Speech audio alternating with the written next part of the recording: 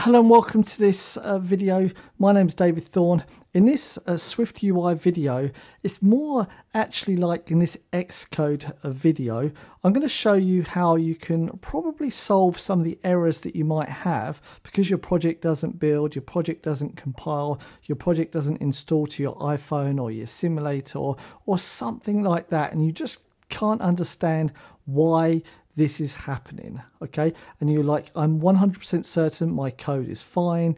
The compiler says my code is fine but it just keeps giving these really silly errors and saying this file doesn't exist or this doesn't work or that doesn't work. I mean, you literally cannot understand. It could just be written in another language completely. You just don't understand why. But everything is fine and you tried closing Xcode down, starting it again. You tried all of these things, but nothing works. Okay, and, and I'm going to help you try and fix this because this will fix nine out of 10 problems and maybe 90 out of 100 problems as well, maybe 95 out of 100 problems that you're going to get. All right, so it is, is a big thing.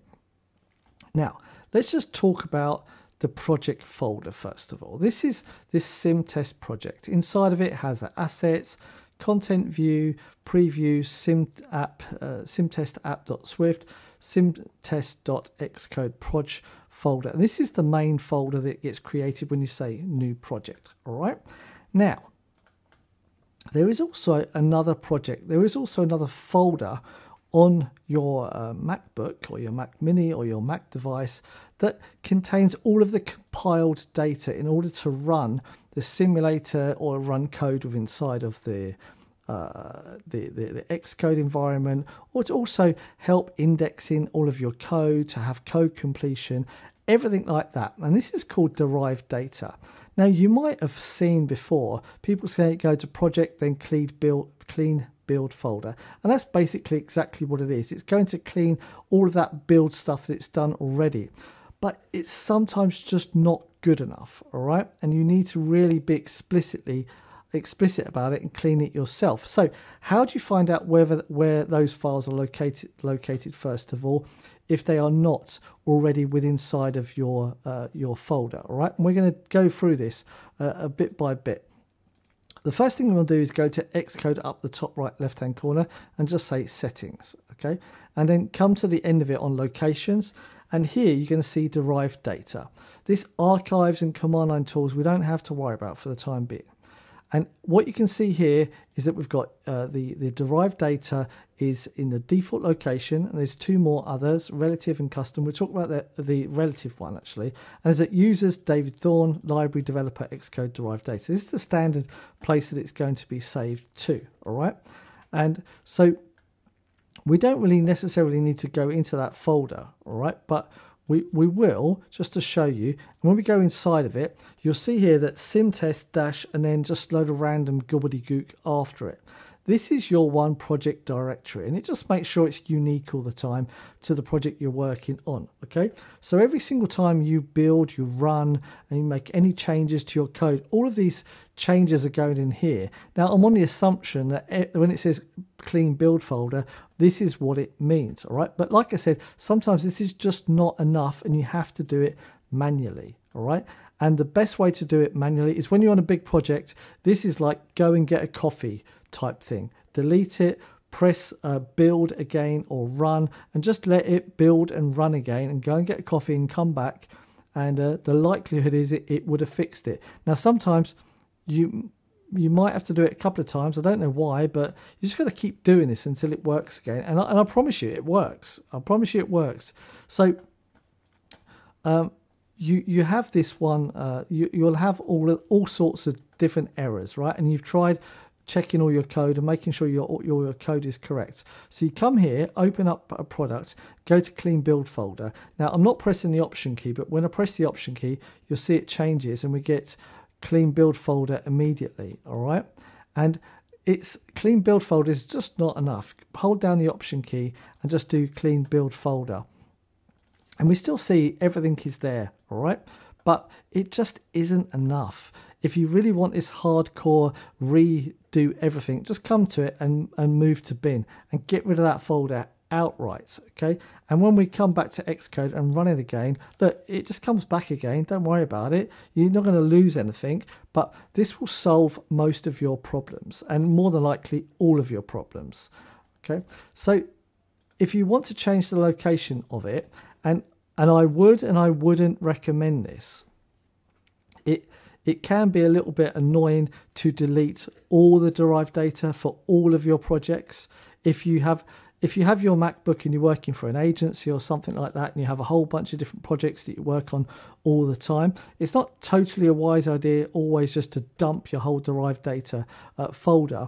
But it, what what is possibly worthwhile doing if you work on lots of projects is doing on a relative basis. Now let's just close this one down again, and let's uh, run the project once again and now come back to our project. And you can see here that within inside of our sim test folder a derived data folder has been created okay? Now we can move this to the bin inside of the actual derived data folder here from the xcode one and we can build and run this once again and come back to finding you see that it's not being created because the derived data is now in a relative basis in your project folder okay? And this is a much better idea like I said, if you are working on multiple different projects all the time for different customers and stuff, this is the better way to do it. But make sure that you don't add this derived data to your version control. Okay, this wants to be added to your git ignore, uh, and you don't want to be pushing this to to the servers because it's a whole bunch of files that you just don't need. So when you do do it, make sure you have a git ignore file a file in there that says, "Hey, ignore derived data outright." Now Otherwise, uh, otherwise you change your your custom path to somewhere else.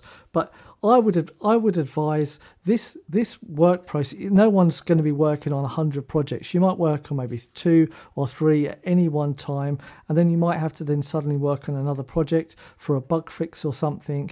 And there there you can just do do it however. All right, but I always try and just go through my projects and delete the derived data. It's like node modules or vendor in other uh, programming languages and, and, so on. So this is the place to come to just do just do a purge, a reset on your project, and just make sure you delete the derived data uh, and so on. All right. Uh, but basically, this is the only folder that needs to be deleted. And I promise you, like I said, uh, most of the time, this will solve your problem outright.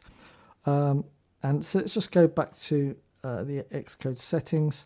And uh, I'm going to put it back to the default location because I much prefer to have um, it, it, located there because I'll just dump the whole derived data uh, in, one swoop because I'm only working on a couple of applications every now and again. Uh, so it doesn't really bother me too much.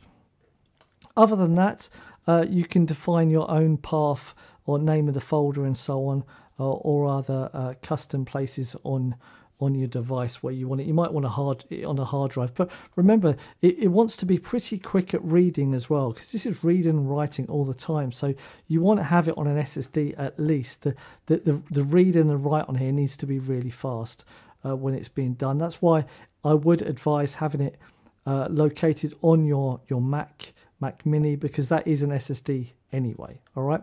With that said, I hope that you've got something out this one video. I promise you, this will be the first thing to check every single time when you have a problem okay? This is always most mostly this is the main cause for most of your problems right with that said, uh, thank you very much for watching. I hope you've learned something uh, from this one video, and I hope this video saves you a lot of time in the future because I promise you it will. Um, just remember, if you've got a big project, uh, you are going to have to take five, ten minutes or however long uh, to recompile, recompile your project if you don't have uh, one of the the better um, uh, chips or on your, your your your computer, your Mac, and so on.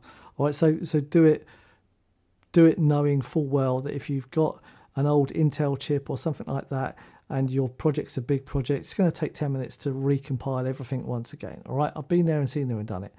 Okay, um, if you've got any questions, feedback, or concerns, let's start a conversation in the comment section down below. Don't forget to like, subscribe, share, and do all of the other social media things out there that you can possibly do. My name's David Thorne. Thank you very much for watching, and I'll see you in the next video. Ciao, ciao, and goodbye.